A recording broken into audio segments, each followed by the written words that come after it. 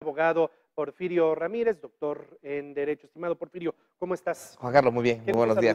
Muchas Siempre gracias. Temas interesantes, temas que tienen que ver con la familia, con las empresas, con la vida doméstica, con la vida personal. Y hoy un tema interesante, Porfirio. Cuando viene un proceso de separación de los padres y el menor, el niño, tiene que quedar en manos con la patria potestad de alguno de los dos, bueno, pues las leyes hoy no nada más analizan al papá o a la mamá con quien se va a quedar el niño, sino al entorno familiar completo.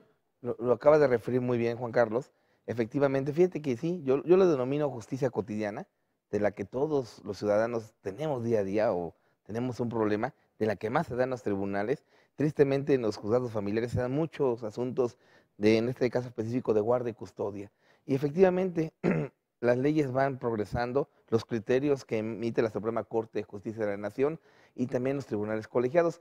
En, un principio eh, se establecía que el papá o la mamá, padre o madre que iban a ejercer la guardia y custodia, que es algo que deriva de la patria potestad, es decir, quién se va a quedar con el niño, quién se va a quedar, perdón, bajo el cuidado del menor, eh, eh, eh, pues facultaban a las partes y para que el juez pudiera solicitar las pruebas periciales en específico en psicología para determinar qué tan apto, quién de los, de los dos padres era el que podía tener esa custodia.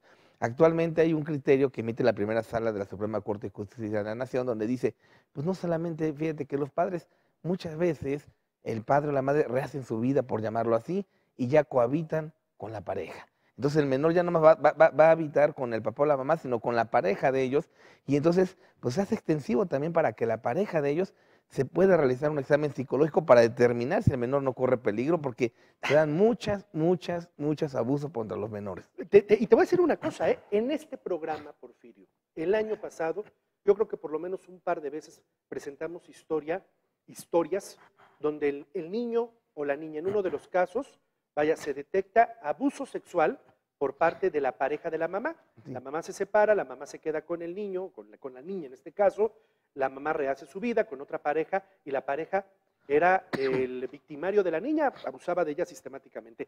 En otro caso, la pareja mata a los niños, a dos niños, Porfirio. Por, por eso es tan proactivo esto, y es muy importante que la gente que nos está viendo, porque es- también, si el juez de bien es cierto, tiene facultades para hacerlo de oficio, también hay que pedirlo. Hay que pedir la conducta procesal, el impulso que darlo a las partes.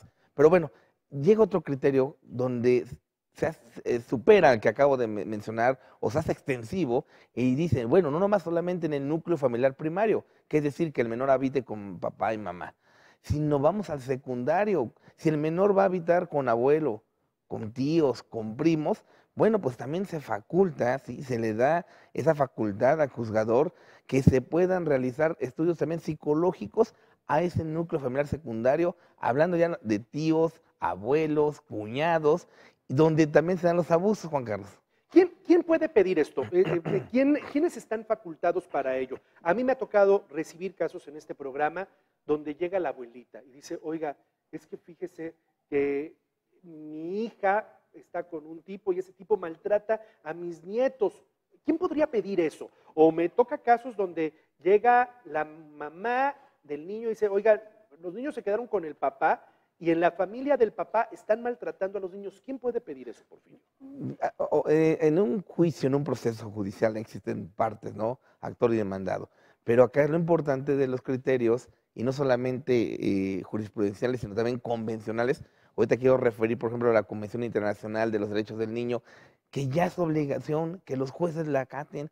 Inclusive en su artículo 12 la Convención establece que el menor tiene derecho a ser escuchado cuando está pues, en juego sus intereses a través de, de propio, es decir, que el propio menor pueda este, manifestarse, o de un tercero que pueda hablar por él o manifestarse por él. Entonces, Un ¿quién lo tercero puede- sí participa en esto, un tercero sí que se está dando cuenta de la circunstancia, un tercero, aunque no forme parte del proceso en, en propiamente, de la litis como tal, aplicando la convención en un, en un ya procedimiento donde los jueces tienen que aplicar no solamente las normas ordinarias constitucionales, sino convencionales. Acabo de referir a la Comisión Internacional de los Derechos del Niño. Claro que sí. Acá, acá es muy importante el criterio del juez. Y sí, Juan Carlos, he visto mucho progreso en los jueces de lo familiar, donde aplican ese criterio siempre velando el interés del menor. Hay mucha injusticia en contra de los menores y por eso estos criterios, y si los jueces son proactivos, que debe ser así, deben de aplicar estas convenciones. Y definitivamente, si en el caso que tú me expones, un, un, se da cuenta que el menor está haciendo, pues darle vista inclusive hasta el Ministerio Público para que se inicie la carpeta correspondiente, pero sí que el juez tome todas las medidas necesarias para salvaguardar el interés del menor. El DIF, ¿qué rol juega en esto? Yo como tercero me doy cuenta, a ver, yo como tercero me doy cuenta que el menor está siendo objeto de maltratos en esa familia con la que se quedó.